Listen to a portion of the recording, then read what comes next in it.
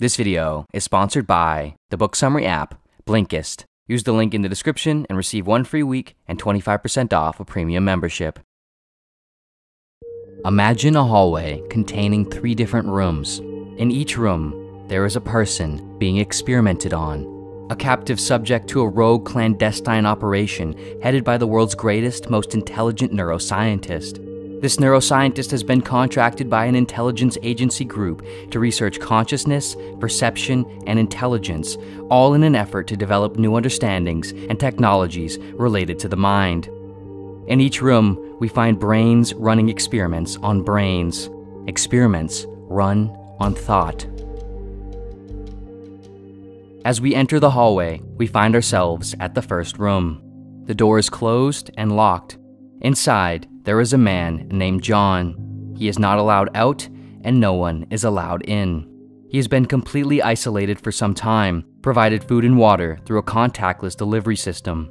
A woman who works at the lab has now recently been instructed to begin periodically communicating with John by slipping him notes under his door.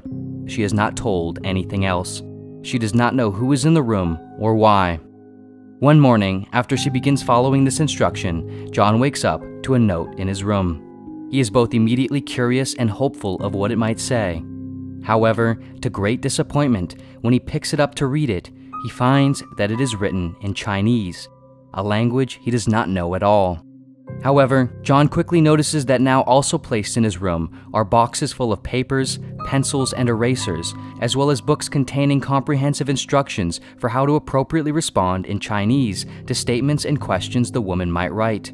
In the books, John can locate and match the symbols the woman writes and then write the relevant corresponding symbols that the book provides, facilitating a conversation.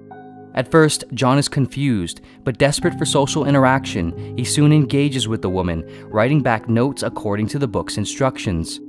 As time passes, the woman begins to like and then fall for John, believing she is communicating with a charismatic man who is fluent in Chinese. Of course, however, John has no idea what he is saying. In this experiment, referred to as the Chinese room, we find the following question being asked What does it mean to be intelligent? With the advent and rapid development of digital computing and artificial intelligence, the question concerning when or if a machine could be considered intelligent, able to think and possess an understanding, is only becoming increasingly relevant. If John can convince the woman he is intelligent or fluent in Chinese based on what he outputs from the room, but can do so without ever actually understanding Chinese and what he is saying, then the output of John's behavior is not sufficient in qualifying him as intelligent, or in this case, possessing an actual understanding of what he is saying. And so, likewise, if a computer program can follow syntactic rules well enough to provide an output that can convince a person that it is thinking and fully understanding, that does not necessarily mean that it is. This experiment challenges the philosophical positions known as functionalism and computationalism. Functionalism arguing that mental states are to be identified by what they do rather than by what they are made of, and computationalism arguing that the mind is an information processing system and consciousness is merely a form of computation. According to the Chinese rooms proposition, however, for intelligence of mind to actually exist, there needs to be understanding, which is inevitably always missing from a digital computer. This poses the question, though what constitutes understanding? Obviously, John understanding Chinese or not is essentially binary, but can John still understand what he is doing in the situation without understanding Chinese? In other words, does John's understanding of the fact that he is intaking and sending out messages in Chinese still constitute some form of understanding? On what level is a computational system required to understand what it is doing for it to be considered sufficient enough for intelligence? Is it a total, comprehensive understanding that is required? A partial understanding in a specific way? How does one determine this? How does one verify it? After all, do we as humans really understand what we mean even when we know what we are saying? Ultimately, if the door to John's room was suddenly opened and the woman saw John showing emotion and effort as he wrote his responses down from the instruction books, clearly understanding not the language but the significance of it, his role in the exchange, would this change things? Would the woman still find him worthy of love and possessing of a sufficient enough understanding to be intelligent? Likewise, if a machine functioned as if it understood, behaved as if it did, and made the explicit claim that it felt as though it did, all based on a program's code, do we believe it? How do we treat it? What are the ethics now needed? As we move further down the hall, in the next room, there is a woman named Mary. Mary has been contained in this room ever since she was born, completely closed off from the rest of the world. No one has gone in, and she has never been let out. She has been communicated with exclusively through an intercom system. Inside the room, there is no color, and there never has been. It is completely black and white. Her skin and hair have all been modified and dyed black, white, and gray. Through a delivery system, she has only been given food and drink, completely dyed with black and white food coloring. The only other things in the room that she has been given to pass the time are books and research papers, all also in black and white. Contained inside the books and papers is all of the known knowledge on one subject color perception. Without having ever seen a color in her entire life, Mary has become an expert on color. She knows everything there is to know the physics of it, the process by which different wavelengths of light stimulate the retina in the eye, how it triggers different electrical signals that affect neural activity in the brain, and how the brain interprets these signals into conscious experiences in the forms of different color perceptions. Soon, however, the door to Mary's room will be opened and she will be let out. For the first time in her life, she will see color firsthand. The question this experiment will then ask is when Mary leaves the room, will she learn anything new about color? If she already possesses and understands all of the known knowledge on color perception, is there still something unknown to her contained in experiencing it firsthand via the eye? This experiment, referred to as Mary's Room, attempts to demonstrate what is known as the knowledge argument, which is the claim that there are truths related to conscious experience that cannot be described or known by mere knowledge of physical facts.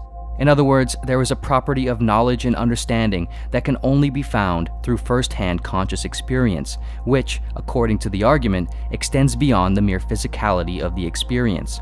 This argues against the theory known as physicalism, which is the counter view that argues that everything in the universe, including mental states, is physical with physical explanations. The belief that Mary will experience and learn something novel when seeing color for the first time might seem obvious, but if she does, what exactly is it that is new? If the experience is tied to something physical, she, at least theoretically, should have already known. If it is not physical, what is it? Is it the mental state felt by the color? But what is being felt other than the physical state in the brain that the color produces in the form of a mental state, which again, Mary should have, or at least could have, already known?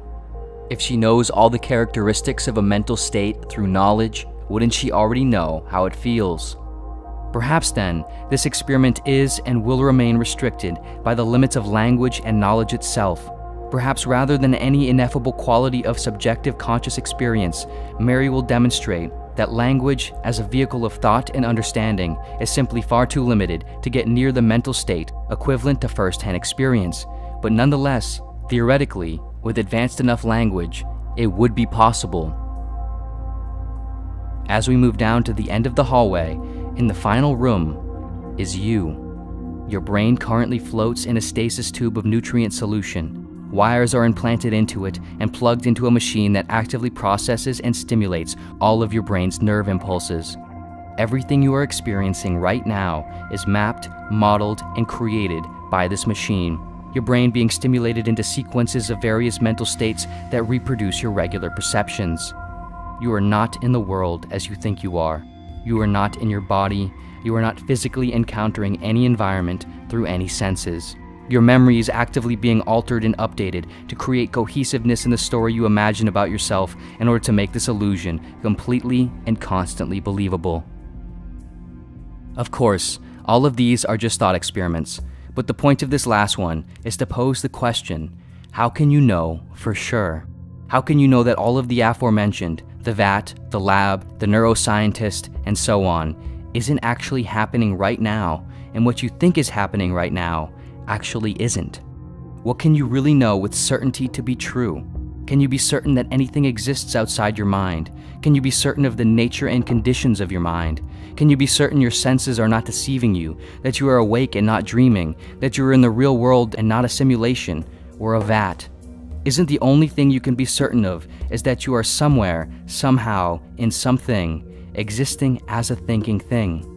Since all your abilities to think and know occur exclusively inside your mind, there is no way for you to ever step out of it to know or prove of anything else.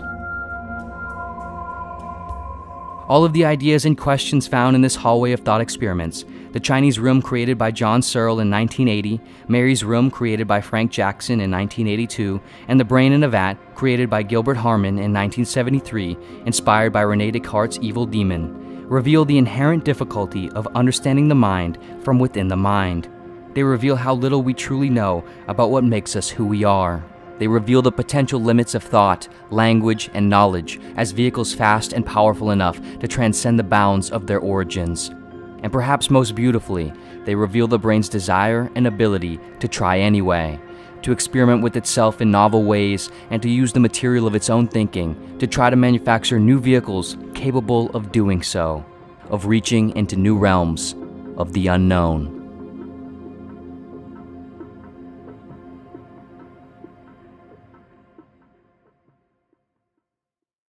This video was sponsored by Blinkist. Consciousness is an utterly perplexing place to exist. Likely ever since the first brain realized it was a brain, it has long since struggled to make sense of what this is, of who we are. Philosophers and scientists seemingly lack any real certainty about how and why consciousness works. Why does the brain produce the experience of self? Is it a primary function or an emergent property? Is consciousness unique to humans? If so, why? If not, how vast is it? And how do physical states in matter produce subjective personal experiences at all? All of these questions and more are discussed, challenged, and responded to in Annaka Harris's book, Conscious, which you can find a succinct yet comprehensive summary of on the book summary app, Blinkist. Blinkist works by condensing over 5,000 books into around 15 minute summaries that can be read or listened to. Perhaps you are interested in learning about some of the aforementioned questions, but aren't sure you want to invest the several hours required into reading the full book. Blinkist helps solve this problem by allowing you to explore and discover meaningful insights from a wide range of books at a tiny fraction of the time. Blinkist has 27 categories to choose from, making it great for just about anyone's interests.